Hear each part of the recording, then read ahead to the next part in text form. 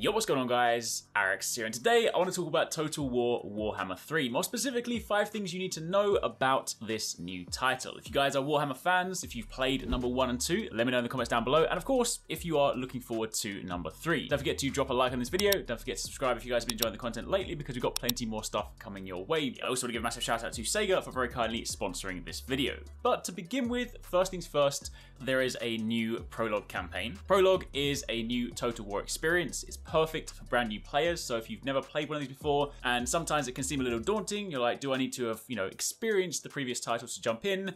This is a great place to get started. It's also good for those of you requiring a sort of refresher course in the mechanics of the game, if maybe it's been a while since you played one or two. Basically, it's a great way to ease into the game and the new story, because often in these types of games, there are so many mechanics, so many things to consider, and if you jump in completely blind, it can be quite a while before you really feel like you get your flow down. So the Prologue campaign is a great way to uh, ease you in.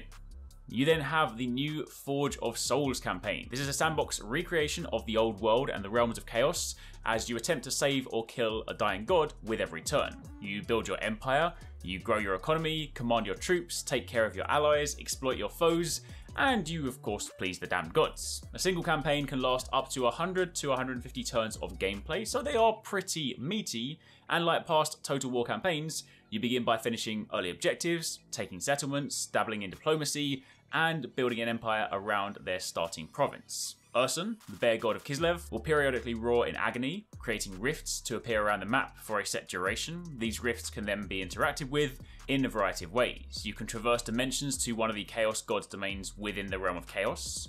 You can traverse rifts to another area within the mortal realm, and you can close the rift, thus stopping chaos corruption from spreading and demonic armies from invading.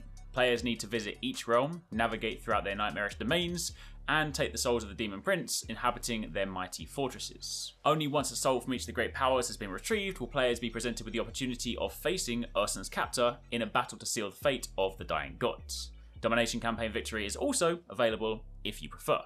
Additionally, Warhammer 3 now offers large-scale multiplayer, much larger than before. Now you and up to 7 friends, 8 total, can play with the added option of playing cooperatively, head to head, or one of the new multiplayer campaign scenarios that are available, something Rotten in Kislev or Darkness and Disharmony. So if multiplayer is your preferred method of playing, which in these kind of games is definitely mine, then this will give you plenty of stuff to sink your teeth into. Additionally, on top of that, there are eight new races to try. There is the Tsardom of Kislev, known as the Realm of the Ice Queen. It's the most northern civilization within the old world. It includes units such as elemental bears, ice leopards, ice witches, and even bear cavalry. You have the Demons of Chaos. The Ungol Prince has given himself up entirely in exchange for the ruinous blessings of the Chaos Gods and ascendancy of demonhood, with a variety of demon units and demonic gifts that let you equip body parts and weapons. You have Grand Cathay, travellers returning from the eastern reaches to tell tales of jade cities and golden pagodas, including units like the Serpentine Dragons, monolithic stone sentinels, and flying skyjunks that rain firepower from above. The Ogre Kingdoms are a race of large, tough, and vicious humanoid ogres. Units include a big variety of different armed and mounted ogres. Khorne, playing as minions of the Blood God, who does not care from where the blood flows so long as it is done in his name. This race has a variety of demon units, with Skarbrand and the Exiled leading the charge.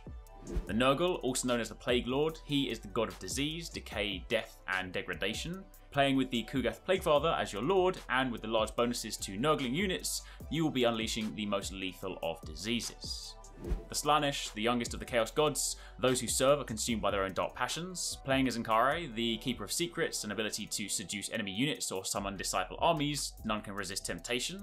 And then finally, Tzeentch, I believe that's how you pronounce it. Some of these names are wild to pronounce, by the way, but the Changer of Ways and Chaos God of Magic, Evolution, Manipulation, and Trickery. Playing with Kairos Fateweaver as your lord and the ability to manipulate the winds of magic, they are a powerful force. In addition to this, you also have new and improved diplomacy. In past games, it has been a bit of a guessing game when it comes to balancing deals with the AI, meaning you either underoffer and fail a deal, or you overoffer and come out short. With new options, diplomacy is looking much more beneficial, including recruiting units from allied armies. You can have balanced deals with the click of a button, balance a deal with the required gold to secure the deal.